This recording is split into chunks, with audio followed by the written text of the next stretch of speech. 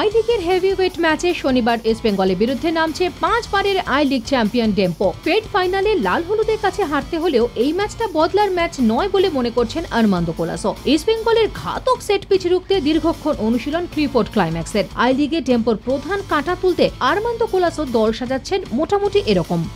গোলে শুভাশিস রায়চৌধুরী ডিফেন্সে Peter Carvalho সারসান অ্যান্টো মহেশ কাউলি দেবব্রত রায় মাঝ মাঠে সুয়েকা Climax Lawrence Anthony Pereira Clifford Miranda আর স্ট্রাইকিং পজিশনে জুয়াকিম অ্যাভরাঞ্চেস ও কোকো চিটি পেন্টের জন্য আলাদা কোনো স্ট্র্যাটেজি নয় নিজস্ব স্টাইলে খেলেই অ্যাওয়ে ম্যাচ থেকে জয় ছিনিয়ে নিতে চাইছে ডেম্পো শিবির Why you all talk about this revenge match? Why? Why? It's over.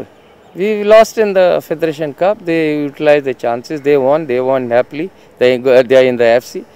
Uh, we got lost. We, we got disappointed, but we are still in the FC because of our high league winning. So it's not on uh, this. I don't know.